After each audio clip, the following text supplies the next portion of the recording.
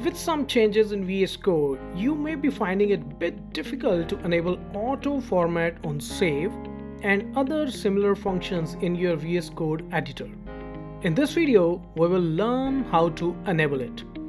Create a sample HTML or JavaScript file and keep the code unformatted. Saving the file will make no change in the formatting because it is not an inbuilt feature of VS Code. Follow these steps to enable it. Open the VS Code main menu by clicking the menu option Code on the top left corner. Hover over the menu item Preferences and then select sub-menu item Settings. You can directly open it by pressing Command plus comma keyboard shortcut on the Mac machine and Control plus comma on the Windows machine. It will open the settings window. In this window, under the text editor section, select formatting menu option. You can also search for it using the search bar displayed in this window.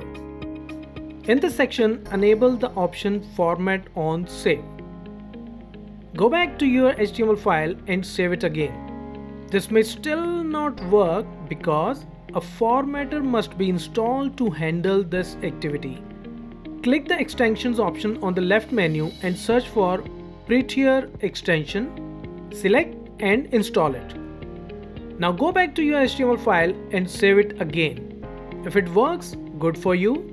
If it still does not work, you would need to make an entry in the VS Code's settings.json file.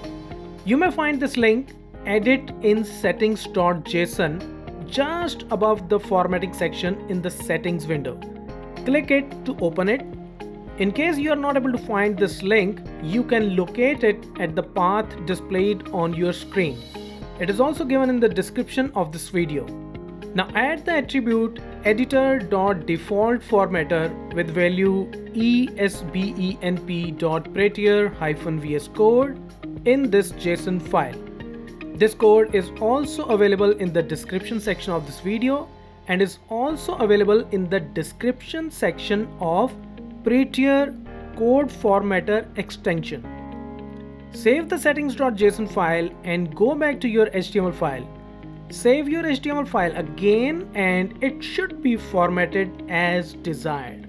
Hope you will get it done now. Cheers!